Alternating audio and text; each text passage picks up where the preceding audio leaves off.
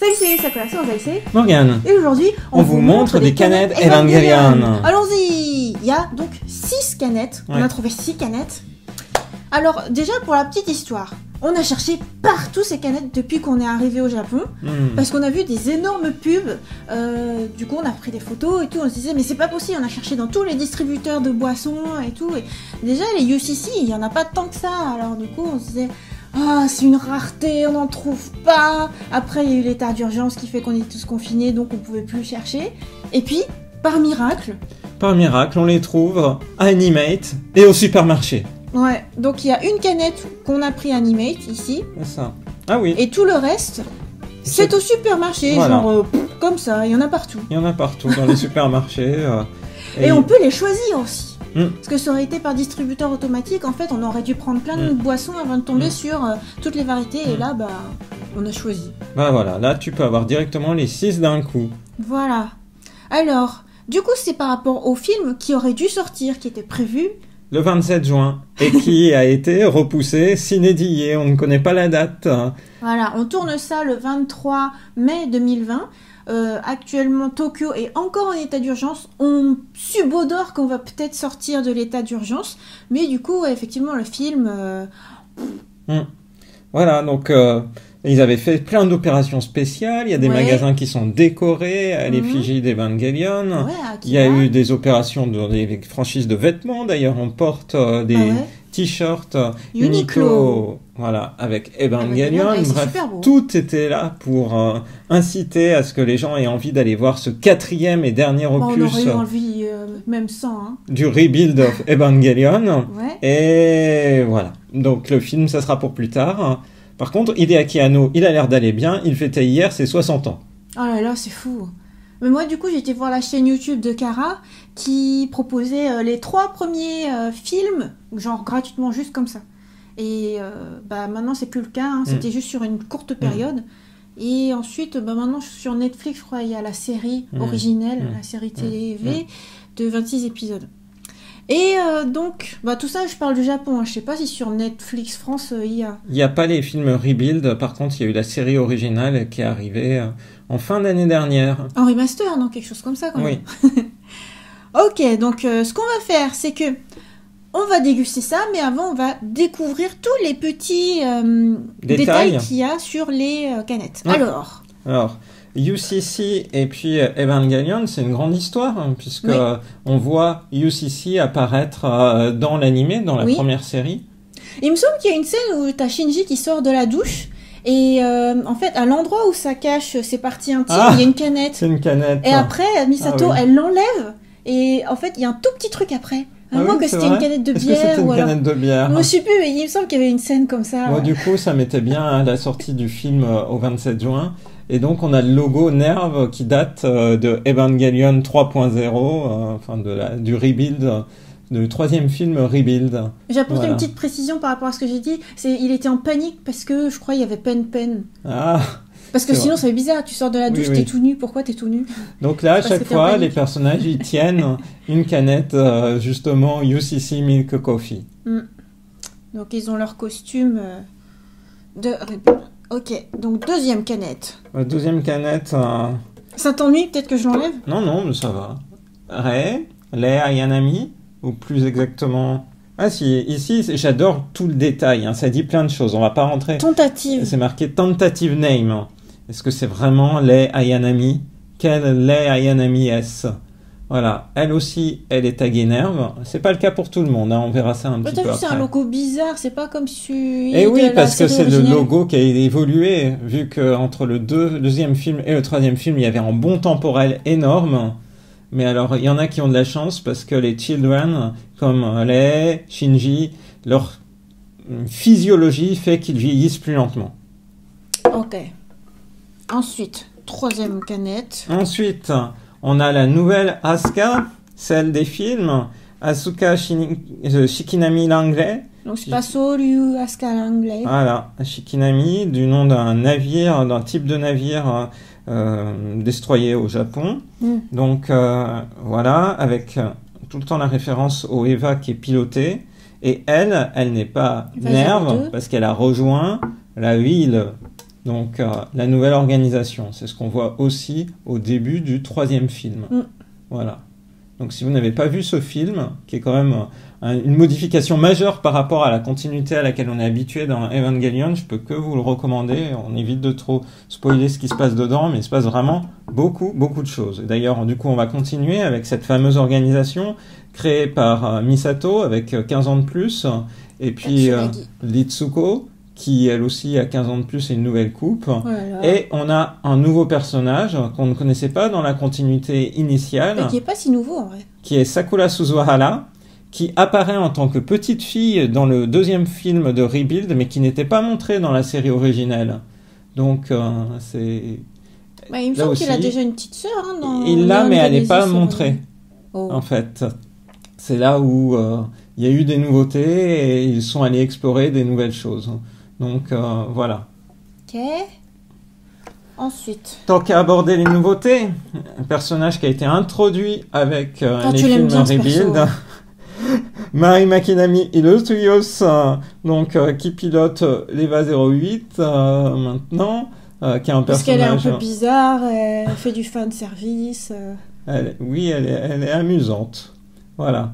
Elle est à la ville, elle aussi, et donc bon, toujours de belles illustrations où les personnages tiennent les canettes en question. Et enfin, on va terminer sur le personnage culte. D'ailleurs, c'est lui que je porte en t-shirt actuellement.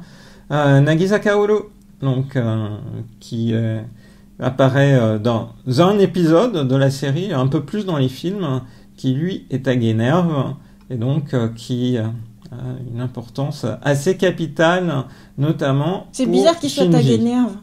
Ah, ça dépend. Il faut voir le troisième film. Très bien. Alors du coup, euh, qu'est-ce que je fais? Je remets ça là avant Ouais. qu'on verse? Ouais. Ou alors non? Je sais pas, tu veux verser? Oh, remets-les, remets-les. On va Ok, verser. bon, bah alors là, euh, j'ai une anecdote. Du coup, comme je disais, j'ai été voir euh, la chaîne YouTube du studio, originellement Gainax, mais maintenant Kara. Et il y a une, toute une petite vidéo animée où ils expliquent. Euh, Hideaki Anno, il voulait faire un, un potager, et puis à un moment donné, il a fait pousser un gros navet. Et là, tu dis, attends, c'est un cabou comme euh, dans Animal Crossing, c'est un peu la métaphore, enfin le jeu de mots pour l'argent peut-être. Bon, bref, il y a un énorme navet qui pousse. En fait, ce navet, c'est la représentation de Evangelion. Et puis après, il dit, non, j'ai envie de faire pousser autre chose, je vais faire pousser euh, des courgettes, euh, des trucs comme ça. En fait, tu dis, ouais, c'est quand il part faire la réalisation d'autres choses, euh, des live action, euh, Godzilla et tout. Ultraman. Ouais. Et puis après, finalement, toute l'équipe se remet à faire Evangelion et puis ça se termine bien, ils sont contents. voilà. Euh, je vous conseille d'aller voir cette petite vidéo, je mettrai peut-être le lien euh, en description. Ah, c'est Bon. sympa, c'est plus sympa que le court-métrage euh, qui était terrible, euh, qui démarrait le, troisième film d'Evangelion, qui était en hommage aux séries euh, dramatiques, aussi au tokusatsu à l'ancienne. Mais je me rappelle quand on était allé voir le film euh, au cinéma, ça mettait tout de suite une ambiance lourde quand on arrivait. Ah bah oui, bah, sur YouTube, non, c'est c'était très mignon. Ah, c'est cool. C'était le style dessin, ça ressemble un petit peu celui de Moyoko Hanno quand elle dessine son mari, euh, la- sa vie de réalisateur euh, et tout. Mm. Ouais. Oh, c'était très mignon. Bref, voilà. Du coup, Morgane, vas-tu réussir à faire cette dégustation sachant que c'est du milk coffee? Ça va être difficile, je pense que je vais te moi laisser qui vais tout déguster. boire. Oui, je crois, pour ça. Juste pour faire la collection de canettes. Moi, je prends le café noir. Donc, on va faire, euh, on va montrer ça dans euh, un verre euh, translucide, juste histoire de montrer. Ouais. Puis après, je vais boire à la canette. Ok. Tu veux faire l'ouverture? Ok, on va essayer de faire l'ouverture sans tout faire sauter. Alors. Bah, c'est pas gazeux. Hein. On est allé visiter le musée du café euh, UCC à Kobe et c'est très très bien, c'est très beau euh, musée qui t'apprend l'historique euh, du café en canette au Japon. Donc euh, amené par, euh, enfin créé par UCC et t'as même un espace café aussi où ils te font du très bon café, ils te font du latte art et euh, c'était vraiment bien. Donc euh, bah, c'est le style de boisson par exemple que ma mère aime beaucoup. Pour Parce moi, que- ça, ça, ça, ça sent tout de suite le café beaucoup trop léger. Bon, je vais faire une dégustation pour la peine. Bah oui, tu sais pas tant que t'as pas goûté. Alors 3, 1, 2, 3. Ah c'est bon. Ça sent plus le café en fait, c'est une boisson lactée. Bah, c'est. euh, Si, t'as un parfum de café, sauf que c'est sucré et que c'est lacté. Voilà. Mais ma mère, par exemple, elle adore ce genre de boisson, ou même des fois, elle prend des sachets. Tu sais, elle est. euh, on dit le café euh, vietnamien Mmh, ou thaïlandais et tout. mmh. C'est des sachets où t'as tout qui est déjà prêt, puis t'as plus qu'à verser de l'eau chaude. Et le résultat, ça donne à peu près ça. Sauf que ça, Mmh. je trouve, c'est plus parfumé que la version de ma mère. c'est vrai. Bon. Bref, bah, c'est une boisson. euh, c'est une bonne boisson. Après, tu t'es habitué au café noir. Avant, tu prenais du café sucré. Tu te souviens même pas, tu prenais du café sucré? Non. Oh bah Morgane. Mais j'ai oublié. Ah bah tiens. moi. Ok. Bon bah 41 calories si jamais ça t'intéresse. 41 calories pour 100 grammes. Très bien. Ben, Sachant que chaque canette fait. je vais boire ça petit à petit. hein, parce 250 que c'est vraiment juste pour vider, pour pouvoir le ramener pour l'exposition à la maison. voilà. Bah, super. J'adore en tout cas. Comme quoi, vous pouvez simplement aller dans un supermarché et avoir des partenariats avec euh, des franchises d'animés ou de manga. C'est vraiment le propre au Japon. On a ça euh, de manière très régulière. Tu crois que c'est quoi ce qui est un QR code? Parce que tu as un QR code sur a chaque canette. Il y a un jeu qui te fait gagner des choses, d'où les petits stickers en fait Ah ici. Donc euh, tu peux gagner des produits, euh, 1000 personnes gagneront. Et si tu ouvres le petit sticker et que tu vas vérifier, tu as jusqu'au 19 juillet pour vérifier euh, si tu as gagné. Ok. Puis il y a une URL aussi. Ouais. Que j'ai vu que là, tu as une URL euh, UCC Coffee Evangelion. Sans doute, Donc, euh, euh, c'est la présentation de la gamme. Et puis effectivement le QR code. Ah, tu veux dire la présentation de tout ce qu'on a là? Voilà. Le QR code qui va permettre d'afficher Eva Extra. Donc, euh, Oh, il y a une appli? il y a une appli qui te promeut euh, les différents produits, la série télé, les films. Donc, euh, c'est pour te- t'inciter à télécharger cette appli. Attends, ils font une appli pour promouvoir. Ah, et en plus, tu l'apprends. Ouais, parce Ah, que moi, drôle. je suis, Bah oui, non, mais c'est bien. je suis fanboy. hein. Donc, Comme ça, on va découvrir ce qu'il y a dedans.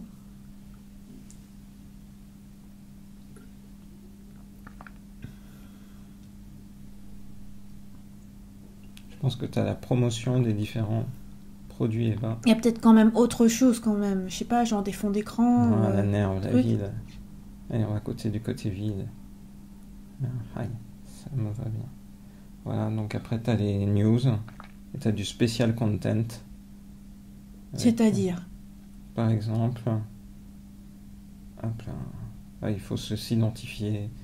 Enfin, ça, ça a l'air assez complet comme appli. Bah, c'est bien. Genre, on voudrait être tenu au courant d'une éventuelle future date pour la sortie du quatrième film. Voilà. Du quatrième film. Evangelion 3.0 plus 1.0 Thrice Upon a Time. Et puis du coup, tu as les, les Les vidéos trailers promotionnelles. Ouais.